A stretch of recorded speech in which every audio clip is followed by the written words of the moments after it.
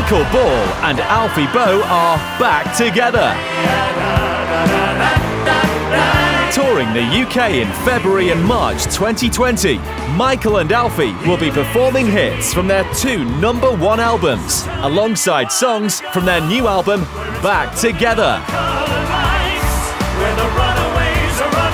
Don't miss out. Tickets are on sale now.